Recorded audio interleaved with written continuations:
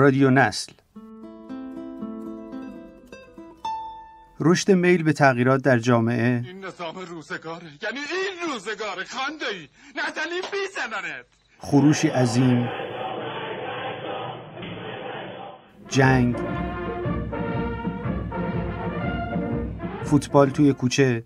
برنامه کودکی که قبلش تصویر گم شده ها رو نشون می‌داد و سرانجام بازگشت موسیقی پاپ به صداهای رسمی.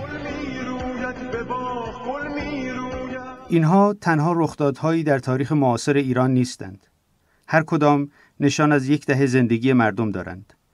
دهه هایی که زیستن در هر کدام تجربه های متفاوتی را برای جامعه ایران پدید آورد. موضوع اصلی ما در این پادکست ها کنکاش در ریشه های مناقشات نسلی و یافتن راهی برای ایجاد فضای گفتگو بین نسل های مختلفه.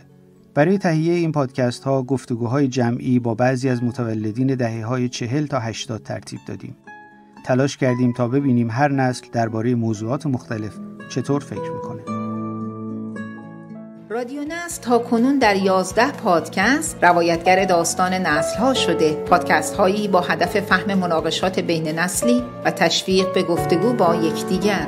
پادکست گفتگوی ملی خانواده نیز با محوریت نتایج اجرای این طرح در مراکز استانها تولید شده و مانند رادیو نسل در شنوتو و Castbox در دسترس است. گفتگوی ملی خانواده خانواده در همه جای جهان همیشه به عنوان نیروی استحکام بخش جامعه در کانون توجه قرار داشته. با این همه خانواده امروز دیگه شباهت زیادی به اونچه سالها پیش وجود داشت نداره. این نهاد چه از منظر ابعاد و اندازه و چه از حیث نقشها، وظایف و تعاملات بین اعضا دچار تغییرات اساسی شده. امروز یکی از مسائل اساسی در جامعه ما اینه که خانواده و گروه های